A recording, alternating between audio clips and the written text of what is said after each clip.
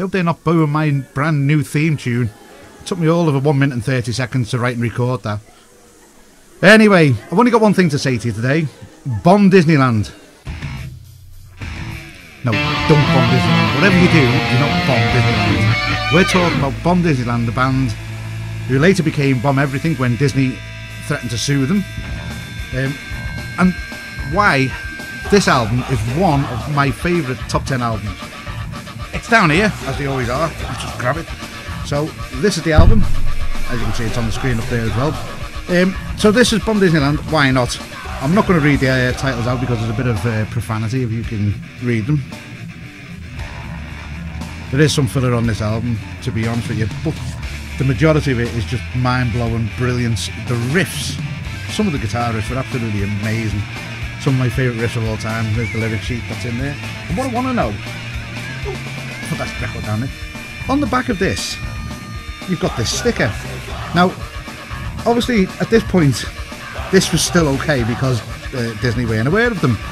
But they still hid something underneath the sticker. There's got to be something underneath it. Now, I'm not taking this off because if I take this off, um, it might damage the record. And it, like I say, it's in really, really good condition. This for its age, so I'm not doing that. I'll, my mate's got a copy. He might do it for me. If not, I'll have to buy another one.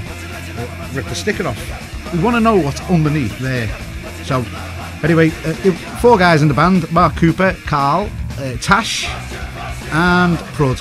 Now, sadly, Prud is no longer with us. Um, he died uh, uh, uh long before his time, uh, quite an early age.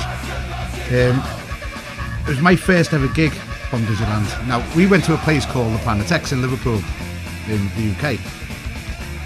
The Planet X was a bit of a dingy, downtrodden venue. It was brilliant you used to walk past, when you walked in, you walked past all the punks sitting there. They had a bank of televisions on your left, half of which were in black and white and half of them didn't work. Then you went down the stairs to the live music room and it was brilliant. It was a dungeon, dirty, everything that you want in a small live music venue. So we've seen Slammer, we've seen Bomb Disneyland, and we've seen Jail Cell Recipes. Unbelievably, the flyer is still on the internet. So I'll put it up so you can see it and I've pictured of the Planet X so you can see that as it was. It's long, long gone now, so unfortunately, as the way with a lot of venues. Now, this band were from uh, Deeside. On Discogs, it says they were from Nottingham, but I think they were from Deeside and it's my channel, so um, I say what goes okay. So, why am I doing this, talking about this album? Which you should go on YouTube. It's all there on YouTube. Go and find it. It's not on Spotify.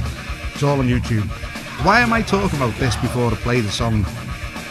Normally, if I do a cover, I don't do the talky bit in front of it. Um, the reason I'm talking about it is because, as far as I'm aware, there are no other guitar videos uh, on YouTube from this band. Now, normally when I go on to, to do a cover version, I'll try and learn it myself. There's some parts you might have to do a bit of research and find out what they're playing, what other people play it like, and, and then you find a happy medium, and then you play your own version, how it suits you. But I can't find anything from Bomb Disneyland, and then I've looked hard. So this is all done by my ear. Now some of it may not be right, which is uh, normal for my standards. So I just wanted to play a Bomb Disneyland song and put it out there. Now, if it is the first one, I'm so proud of that. Uh, I hope the, the guys who uh, were in the band might even see it. You never know. I'd love to hear from them.